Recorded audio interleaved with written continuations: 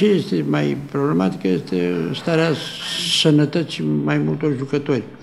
Se pare că pregătirea de iarnă aia, care este baza unui an competițional, nu prea a fost suficient de bine făcută și acum au repercusiuni să văd. Sunt mulți Uh, jucători accidentați. Destul de chinuită încă de la începutul campionatului, FCM Târgoviște trebuie să găsească puterea necesară de a face față unei noi provocări. Noul antrenor Puiu Haralambie face eforturi să încropească un 11 competitiv pentru partida de sâmbătă 26 octombrie, ora 15 cu FCM Câmpina. Indisponibil deocamdată este Daia și cu Mândru, deci erau doi jucători de bază.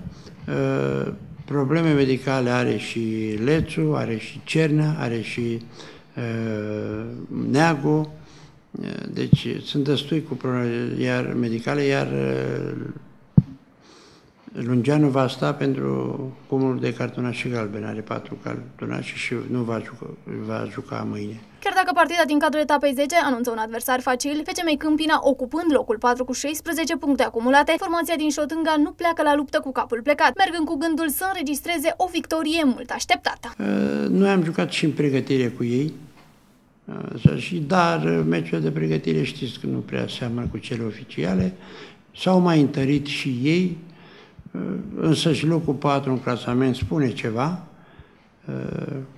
E o echipă zic eu, puțin ușor peste noi. Dar uh, niciun meci nu e jucat înainte. Uh, dacă se vor mobiliza și vor uh, depune eforturi susținute, eu sunt convins că mâine la Câmpina nu, nu vom pierde. Mai mult decât atât, cele nouă etape eșuate nu sunt privite ca o problemă pentru oficialii clubului din Șotânga, care și-au făcut deja planurile pentru o reîmprospătare a echipei. În aceste cinci etape e posibil să, în primul rând, se vor uh, repara cu ghilimele de rigoare acești jucători care sunt cu problema acum.